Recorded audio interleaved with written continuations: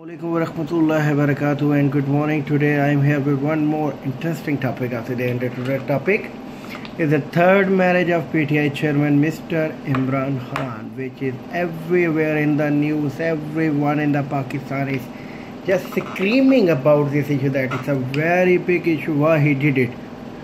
My dear, I'm just going to tell you one thing. It's his personal right. And as per the Islamic law, he can do four but he's still doing the three. It means one more is pending. So be ready for the one more.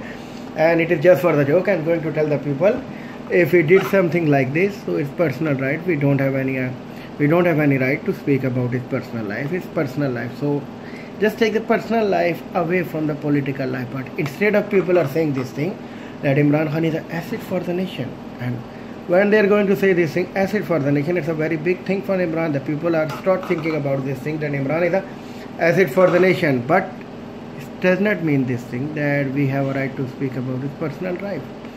I know i know i know that who are the four who are some people they are making the propaganda against imran khan. There are the only five to six people who are making this whole propaganda. One pmln second geo news the third the Reham khan the fourth Ayesha gulalai so these people have don't these people don't have anything to say they are now making the, some propaganda against Imran Khan but these people don't know. According to Jang News they say Imran Khan marriage is held at 1st January 2018 and Mufti Saeed is the one who did it. But according to Mufti Saeed he deny he said he don't want to speak anything about this and he don't know. So I think so there's a one more Mufti Saeed for the Geo News. I don't know this thing.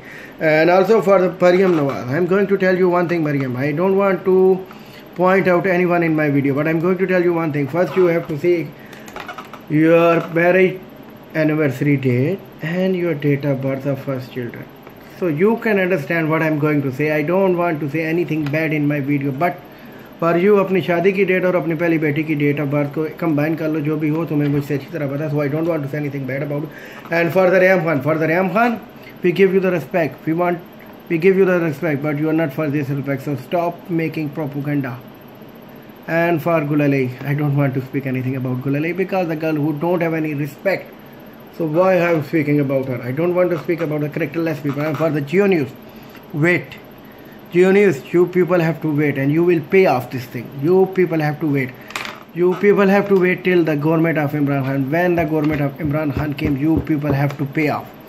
The all the propaganda which you are making you people have to pay. And for the Reham Khan I'm going to tell you the last thing in Urdu घर से भाग के नहीं गया और किसी को घर से भगा के नहीं लाया। शादी की है तो ठीक किया है। शादी नहीं की तो उसकी अपनी दिन की है। You don't have any right to speak but तुम्हारी तरह करेक्टर ये लेस नहीं है।